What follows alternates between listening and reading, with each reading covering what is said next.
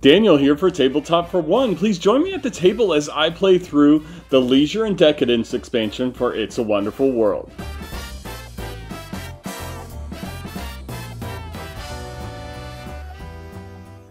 And I thank you for joining me for this solo playthrough of It's a Wonderful World, the Leisure and Decadence campaign expansion that is releasing this month.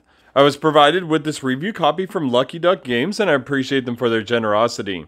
And so I want to let you know that there is going to be some spoilers in this video because I'm going to play through the first chapter.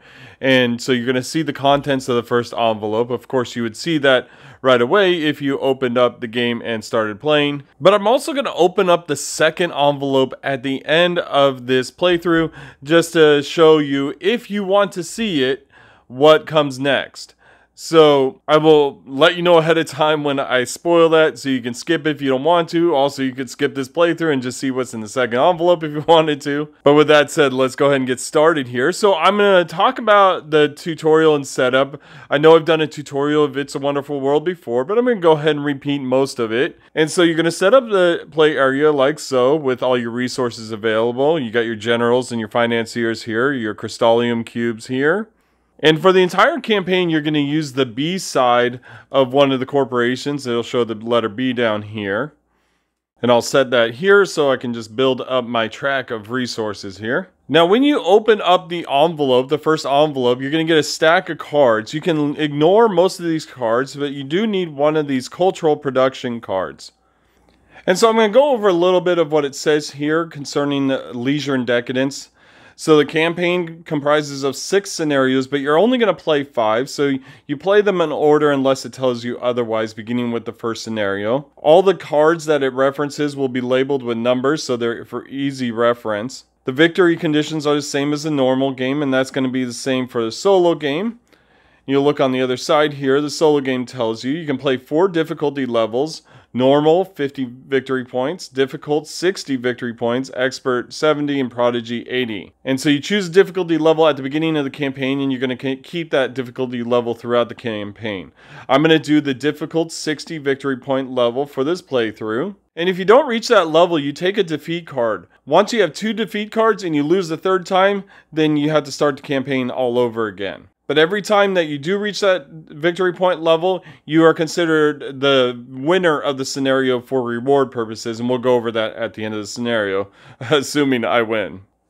Alright, and so for this scenario here, we have the Cultural Renaissance. I'll read the history here.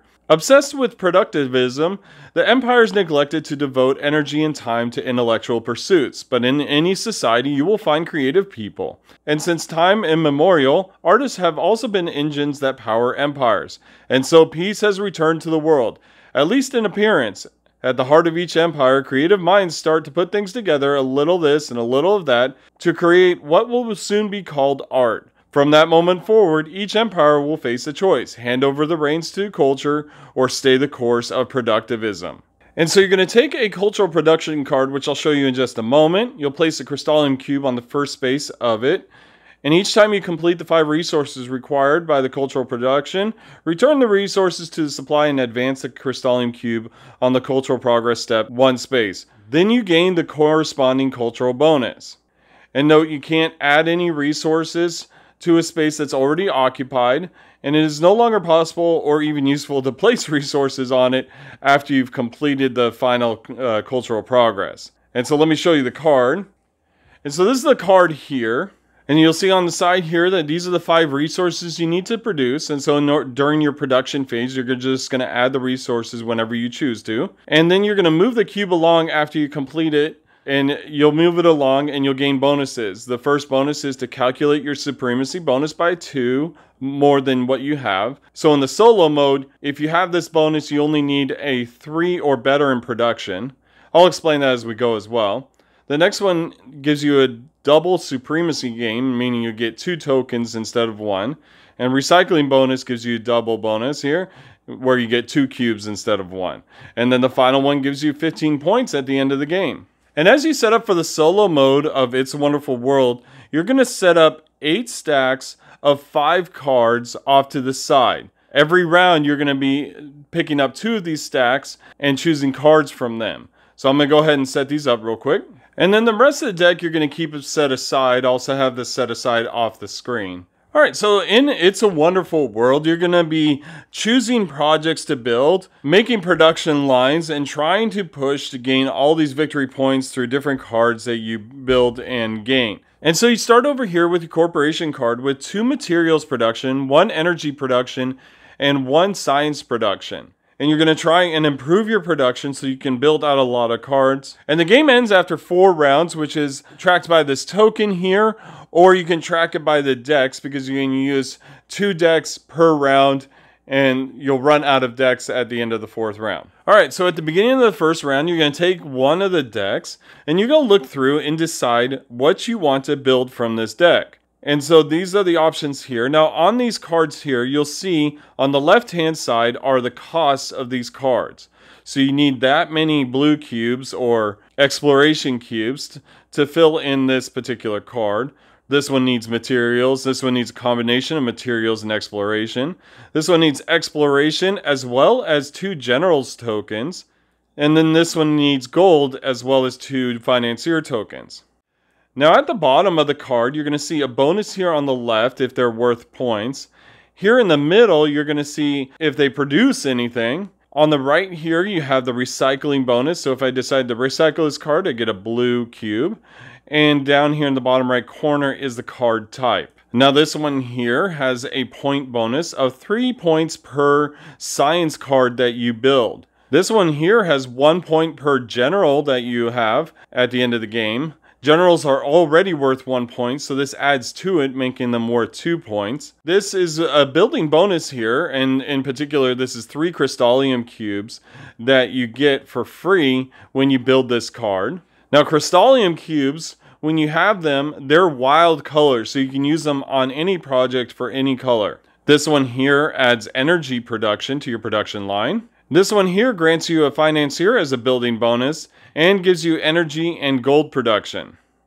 And so in the solo mode, you're able to choose from these five cards which cards you want to build, which ones you want to recycle, or you can spend two cards discarding them. Then you draw five cards from the deck, the big deck that's left over, and you get to choose one of those to keep. So it allows you to kind of fish for cards you might like. Now in these cards here, I'm going to go ahead and take the Fountain of Youth because I think it's worth it. I'm going to try and have some generals at the end of the game, so it'll boost those points. And the three Krystallium's kind of nice, so we'll get that one. It may take me longer to build this card, but I think it's worth a try. I'm also going to get the wind turbines here to help my early production. I'll be able to build this right away in during production and it'll allow me to gain extra energy during that first energy production. I'll explain that when it happens. Now before I decide on this card here, I'm going to go ahead and recycle these two cards. So I discarded them, I drew five cards, and now I get to choose from these ones I might want. And I think I either want the military base or the nuclear power plant. I'm not sure which one. This one gives me a lot of energy production. The military base gives me a general and some science production.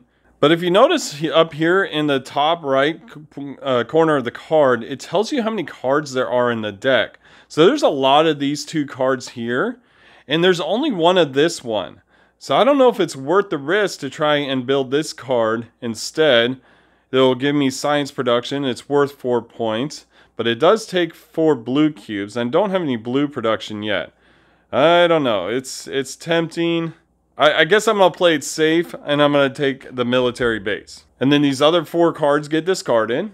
And I think I'll go ahead and keep the center of the earth in my production line. I think it's worth a try for the end of the game for that 15 points. Between the 15 points here and the 15 points there, I'm halfway to my 60 point goal. And so now that I've done my first hand of five cards, I grab another hand of five cards, and we're going to choose what to do with these here. Now, I definitely like the look of the super soldiers here. It does take a lot of science, but it's also going to boost my general's points. It gives me a general. I think this is worth it. Oh, and I also have Research Center, which gives me more science, which I might need, and Roswell. That's going to boost my general's points as well. Wow. So I got a lot of cards there going, maybe too many. But I'm going to go ahead and recycle these two here. So I'm going to get one gold and one exploration token. And so I can add these tokens to any of the cards I want. And I'm going to go ahead and add it to my production card here. And I just realized I forgot to put my Krystallium Cube at the beginning here.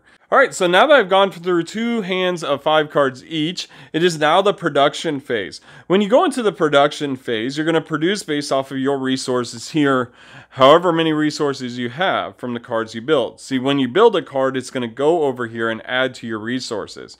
And you'll see that in just a moment.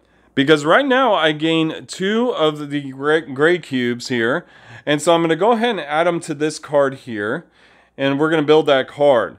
So now we go ahead and take this card, we're going to add it to our production line here, and it just lines up like that. And so now its production becomes part of the production. See, we work our way down from gray to black to green to yellow and blue. So we've done our gray production right now. And now we're going to go into our black. But since I built this card before the black production started, I will gain this black production as well. So I'll go ahead and gain two cubes here. And we'll add them. And then we go on to the science production, the green, and I go ahead and gain the one green cube and I'll add it to the cultural production line here. All right, I don't have any yellow or blue cube production. One thing I didn't mention yet is supremacy, production supremacy. So in the solo mode, anytime you produce five of one resource, you will gain a bonus. At the top of these resources here, you'll see the bonus. So this one here grants you a financier. This one grants you a general. This one grants you a choice, then financier, then general. And so when you reach one of those supremacy bonuses, you just take one of these tokens here or one of these tokens here, and you'll set it aside for endgame scoring unless you use them for cards like the center of the earth here, which requires two military tokens or generals tokens. All right, so we're going to go ahead and flip this over and start round two, which means we just go ahead and grab a new set of five cards. And so I have these cards here. Now this one definitely looks worth it. You know, Atlantis, it gets two points per general token, but I don't know. I've got a lot of the exploration cards out there right now requiring a lot of blue production. I don't know if I want to use that one right now. This one seems a little bit better for me, especially if I build it earlier because then I will gain blue production. And so I think I'm going to choose this one instead. That might be an error on my choice, but we'll see how it works out. And so I'm going to go ahead and try and build the underwater city. The underwater city here, it does provide three points, but check this out. One science and two exploration. That's a nice production there. And I think I can pull off getting this this round, so I'll have two productions worth by the end of the game. I think that's worth it. I'll set that here. And then the rest of these here, I'm going to go ahead and recycle. So I get one black and two yellow. And I may as well go ahead and add them to that card that I just got. All right, so I'm going to grab another hand of cards here, and we're going to see what we got. I do like this icebreaker here, so I'm to go ahead and add it to the line. Again, that's going to give me some more blue production. But I'm to go ahead and discard these two cards so I can draw five cards.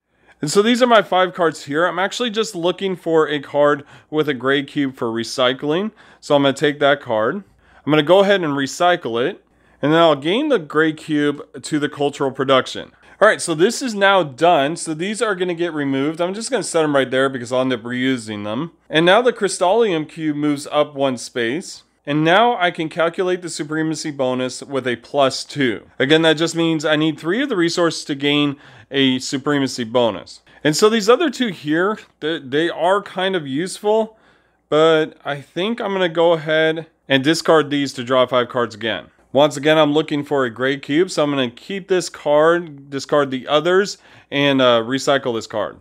I'm going to go ahead and add that gray cube right here. And now we're ready to go into production. So first we start off with the gray. I get two cubes. I'm just going to add them to this card here, which is going to finish it off anyways. And so I add this to my line here. And I go ahead and take a general token because it has the building bonus there. Now, I added this card. It has a great production on it, but because great production already started this round, I don't get the that gray cube this round. It'll be next round. And now I get two black cubes, and we'll go ahead and add um, one here, and I think one here. And then next I get two green cubes, and I'll add one here, which will complete this. And I'll place the other one on the cultural production. And so now this card is complete. and we'll add it to production here. And so that's pretty good because now I, we're going into, well, we're going into yellow production, but I don't have any, but I do get the two blue production. So we'll go ahead and add these in. I think I'm gonna go ahead and put them here. All right, so we're gonna flip this over and now we're in round three. We're gonna draw five more cards. And so these are my cards here. I don't see anything that I necessarily want or think I'm gonna be able to produce in time. So I think I'm going to go ahead and set these aside, possibly recycling all three of these. And then I'm going to discard these two to drive, draw five more cards.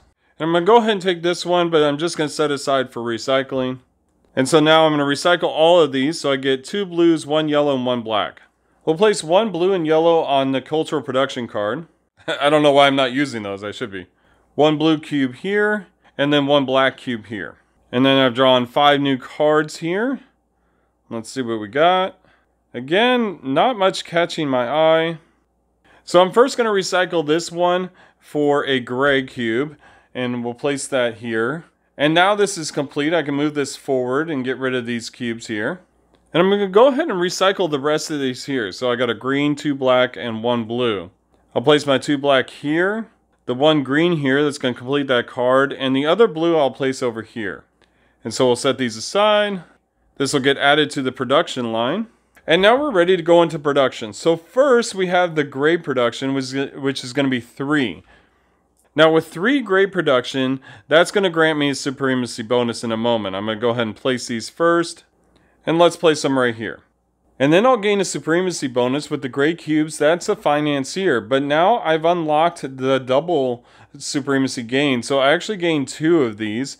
And we'll set these here. And so next production is energy, and I have two of those. And I'll place one here and one here. That completes this card. And now I'll add this card into production, which will give me more green cubes. And that's the next production, so we're going to gain five green cubes now. We'll add one on the cultural production, and four right here.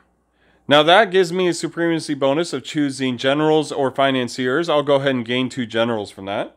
And once again, I do not have any gold production, so we're going to move on to the exploration, the blue production, of which I gained four. I'll add one on the cultural production board, then I'll add three right here, and that'll complete the Fountain of Youth. We'll go ahead and add that to the production line. It doesn't grant me any production, but I do get three Krystallium cubes. And so we'll add these over here. I can keep them here and use them at any time. Now, one thing that hasn't happened yet, will likely happen next round, is anytime you overproduce, where you have enough cubes to fill up your cards and you have leftover cubes, they do go over here. And when you accumulate five cubes, doesn't matter what colors, you can turn them into one Krystallium cube, as indicated by the bottom of this corner here. Also, if you decide at some point during the construction phase you can't build something that you've already set up to build, you can recycle it for its bonus, but it goes straight into this section here. You can't put it on another card.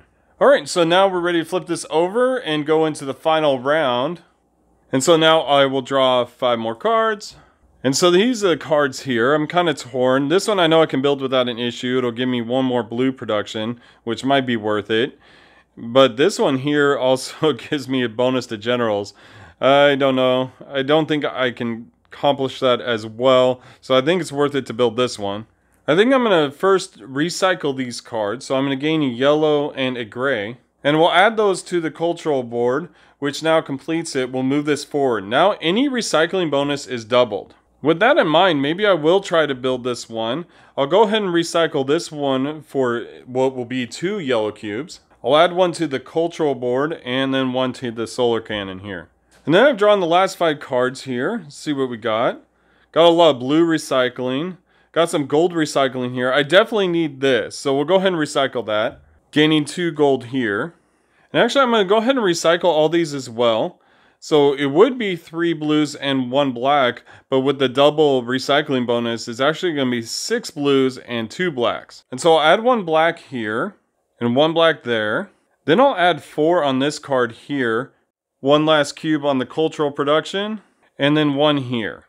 All right, so at this point, I'm actually going to go ahead and spend one of my Krystallium on this card here and just go ahead and complete it. And we'll place it over here. Now, before I go into production, I realized at the uh, last production, when I produced the blue cubes, I did not gain my Supremacy bonus, which would be two generals, so I'll go ahead and gain those right now. Okay, so now we're going into the final production of the game. I haven't produced a lot of cards. I hope my gamble's worth it here.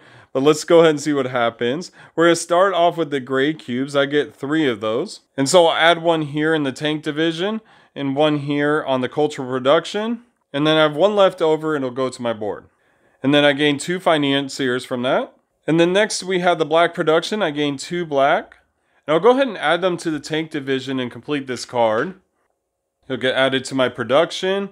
I will gain one general from that. And then next we have the science production where I gain five.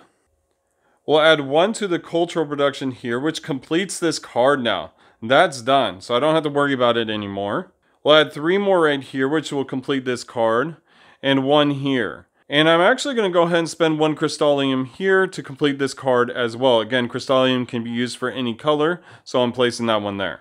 And we'll add both of these to the production, but I get two generals as well. So I'll exchange a single one here for a triple one. All right, once again, I have no gold production, so we're going straight into the ex exploration, which I have seven production.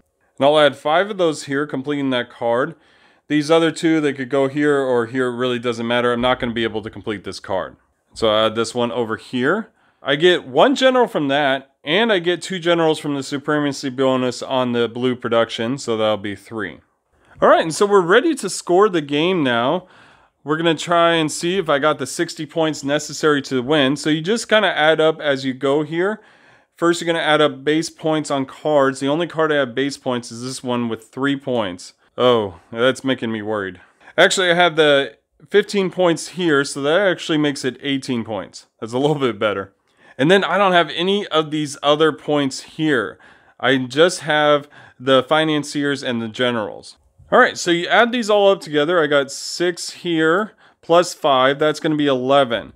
So you write 11 here, and then you're going to times that by how much they're worth. Now I've got plus five here, but they're already worth one, so that's times six. Oh, wow. That is a lot of points there. but last but not least, I do have four financiers. They're worth one point each, so four times one, making it four. And so I'm going to end up with, oh my goodness, is that 88 points? Wow. I don't know if you can see that there. Here, let me move this up. There, 88 points. All right, so I definitely beat the goal of 60 points. the, that, I might have set the bar a little too low on that one. But then again, I've played this game like 40, 50 times now. So it's not surprising to me. And on top of that, they gave you lots of bonuses. I mean, come on. I got double generals for like the last two productions. That was really good. Okay, so now you look at the back of this sheet. Again, sorry, this is a little bit of a spoiler, not not much, but you would have seen this sheet if you started the game anyways. So you have a resolution here. So each player who reached the final space of the cultural progress, they're going to gain 15 victory points, of course, and take pop culture 1-02. Now, Pop Culture 1-02 is this card here. You're able to use it every game going forward. What it does is it during the draft phase, once per game, allows you to take an extra card and draft two during that round instead of one. Now that applies to the multiplayer, but in the solo mode, you just draft an extra card. So normally you gain five in a hand. Well, this one allow you to gain six for one of those hands. And so that's a really handy bonus there. And now each player who has not reached the final space of, a, of the progress takes a censorship card instead. And what that lets you do is once per game, you can discard your entire draft hand and redraw the same number of cards. So in the solo mode, one of your five hands of cards, you'll be able to just completely get rid of it, and draw five new ones. And so the winner also, which if you do win the scenario as a solo player, this counts for you. You gain the famous host card. So this card here allows you once per game to place a Krystallium token here to copy the power of your pop culture or censorship card. And so you'll be able to use that power again. And so at the end here, you're going to return all the cultural production cards to the envelope. And then it says you're ready to open envelope number two. All right, so at this point, I'm going to go ahead and clear the, the table here and I'm going to get out envelope number two and show it to you. If you don't want to be spoiled, you can just head out at this point, and I thank you for watching. But if you want to see what's in envelope two, I'll go ahead and show you. All right, so here's envelope number two, and we're going to go ahead and check it out. You can see I haven't even opened it myself yet, so it'll be a surprise to me as well. But here we go. Leisure and Decadence Part 2 one culture to dominate them all. I won't read the history here.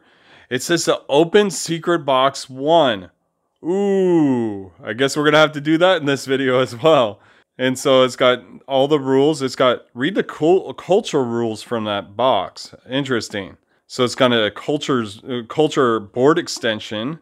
Interesting. Oh, okay. This will be really good. All right. So let's see. I'm gonna go ahead and open up that box. Again, if you want to skip it, eh, thank you so much for watching, but I want to see what's in it. It's a it's a big box too. So let's see what we got. Wow, purple cubes. Oh my goodness. And a whole deck of cards here. Oh, they're the normal back. So these are going to get added to the deck. Interesting. All right. Let's see. Comes with a rule sheet, five culture cubes, Culture production board. Wow. 35 culture cards, 36 celebrity tokens, 20 bonus tokens. So you add it, you place a culture cube where your corporation is, then you put celebrity tokens, and you shuffle those culture cards within the base game. And so from now on, and all, for all future games, after the exploration production step, you produce culture. Culture works differently from other resources. It's not a physical resource. When you produce it, advance your marker on the culture production one step upward.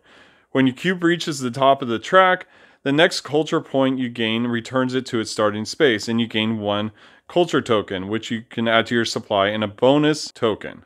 The more culture you produce, the more you gather, the more points one earns you. Each celebrity is worth one victory point plus one victory point per bonus token you have.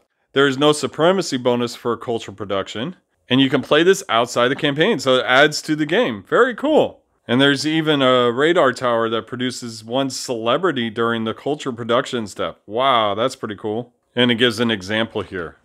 Wow, that's great. All right, so we have the bonus tokens here. Here's the culture board, and it looks like these just pop out here, and that, that's great. looks great, and it fits right along the end of it.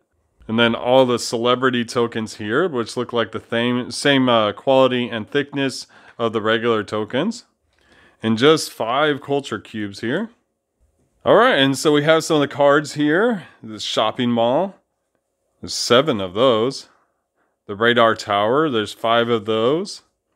Exhibition center, seven of those. Supersonic jet, five of those. Cybernetic stars, holograms, labyrinth of mines. That's a cool picture. I can't even pronounce that. Is it Yggdrasil? I'm not sure. You'll have to let me know.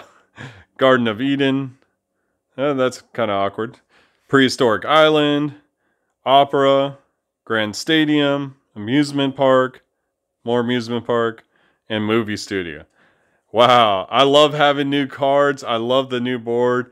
I, love that it just adds to the gameplay, and I think it's going to be great. All right, and so there you have it. That was the uh, tutorial and solo playthrough for the first episode of the Leisure and Decadence It's a Wonderful World expansion. I definitely loved my experience with it. Uh, it's a lot of fun. I love the fact that the stuff that you get adds to the the game, like adds complexity, adds different things that you can shoot for. Just remember that I did receive this as a review copy, but my opinions are my own. I always try to give you my most honest opinion about it. But yeah, I'm definitely enjoying this so far. It'll be interesting to play through the whole campaign. I will end up doing a review. I'm going to play the campaign twice. As it said, you play five of the campaign uh, scenarios, and so I'll play it twice and see how it changes with each run, and I'll talk about it in my review. Feel free to ask me any questions in the comments below. Please also like and subscribe to this channel if you like the content you see here. And I thank you very much for watching Tabletop for One. Have a great night.